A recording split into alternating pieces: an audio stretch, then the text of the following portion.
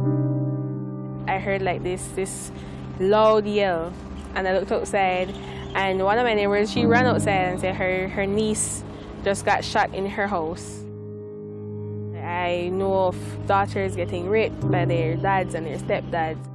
Like a whole pile of really negative, bad stuff. But you try to just be positive and stay focused.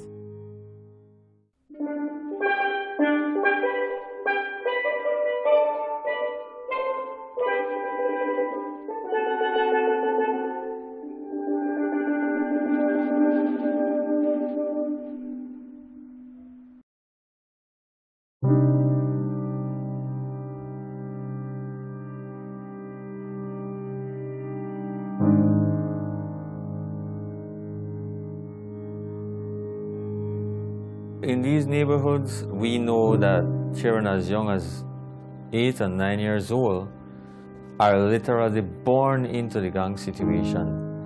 My name is Roger Bradley. I'm the Senior Program Officer at Restore Belize. These children are literally traumatized.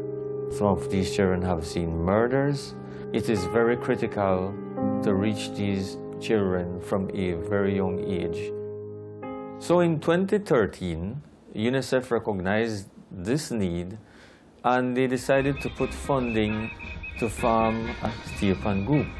We felt that between Restore Belize and the National Institute of Culture and History, we could provide free steel classes for children in these neighborhoods.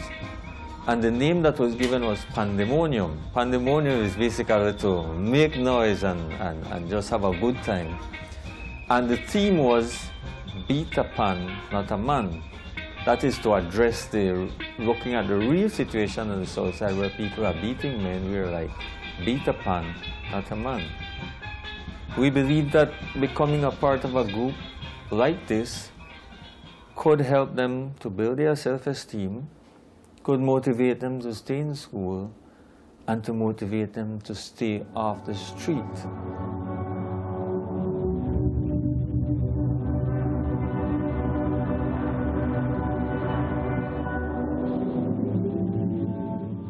Well, I know that for a lot of the young people in our group, when they go to the pan room, they don't want to leave because it's, it's like a haven there for them.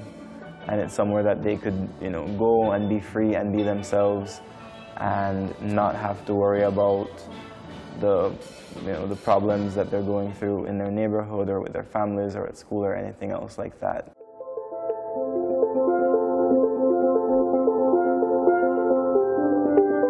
My name is Alexander Evans and I'm the director of the Pandemonium Steel Bands. One of the most important things that young people are searching for is identity, something that defines them, something that they can say, I am this. And music is, is, is perfect for that. Music to me is food for the soul. I can't imagine my life without music.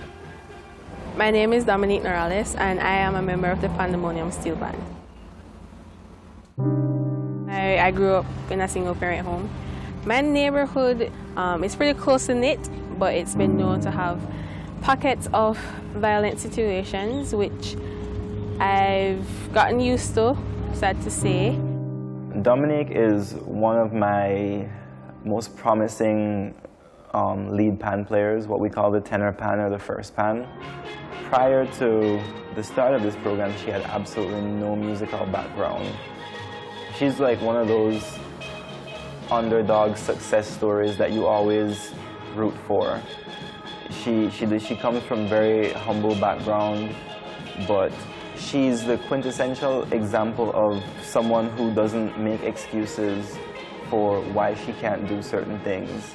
She's the type of person where if there are 50 reasons why she can't and one reason why she can, she's going to focus on that one reason why she can. There's no time, like literally no time to be idle. There's no time to be texting that guy that's been bothering you. There's no time to do anything that's not pan or school. There's no time. So for me, that has kept me out of so much trouble. so much trouble. I'm taking biology and chemistry at SJCJC and I want to be a forensic scientist as I feel that it's something Belize really needs. The whole idea of Restore Belize is to keep our children in, in school. They understand that it's not just about the steel pan, but it's, they also understand that they need to perform well in school. Sometimes I find myself questioning and wondering, you know, why I do it. But then I hear one of my students saying that, you know, all his friends that he used to hang out on the corner with are, you know, telling him, you know, like, yo, you don't hang out with us anymore. And then he responds by saying, I can't because I, have, I always have to be at steel band practice. It's deterring them from doing something that they would have done that would have been like an idle situation that could have led to probably getting arrested and doing jail time and just doing something that's completely negative. Some of the parents, like Dominique's mom has, you know, expressed to me how much being in this program has changed Dominique's life and, and has like helped to keep her on that path towards success. I especially see in the guys in my band. I really admire the way they prevail through really stormy situations that could have ended their life. Like literally just they could have died. Yes, I grew up in a in pretty dangerous situations too. But sometimes I feel that they they needed pandemonium more than I did. Panyard is the biggest steel pan showcase in Belize. It happens annually during our September celebrations. Steel pan music is supposed to be enjoyable, fun, electrifying for the performers and for the audience. My energy has to be right there on par with my players so that I could feed off of them, they feed off of me, and the audience feeds off of everything.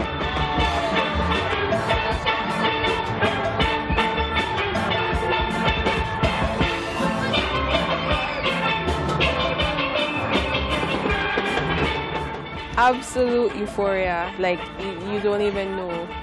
Every time I see a picture from Panyard or a video clip or I see my uniform from Panyard, I just get immediately just so happy. This is really an offering of self. So you're putting yourself out there and you're saying, yes, this is what I did. I, I want you to be proud of me. I want you to see that I can do something good. I want to prove to you that I'm not just the kid on the corner smoking weed or the girl that just every guy uses and the kids that kid that is failing in school. I want you to see that I could do more.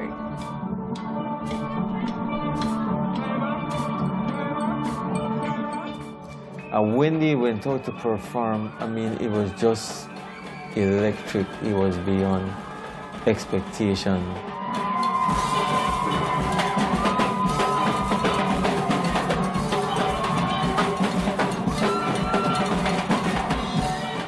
These children really, really felt good. They really felt appreciated.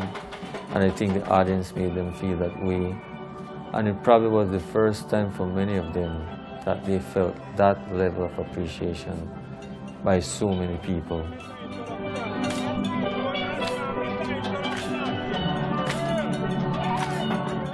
It was amazing. It was just beyond, it just blew our minds. To me, music is the most powerful tool in the sense that it has the power to change how people feel. It changes how people think. It can get inside of people and start movements. It could start revolutions. I see pandemonium being a tool for social change. I mean, in Belize, everybody is at risk of being caught in the trap of, of the negativity and the violence. And what pandemonium and what music does is give people an opportunity to be a useful product of their society and not just a byproduct that just adds nothing to it.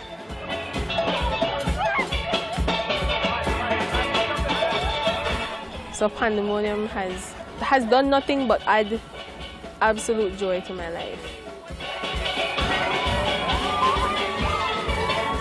And if I wasn't playing Pan, I really don't know where I would be. It's just has added to my life in so many ways. Ways that I probably don't even realize.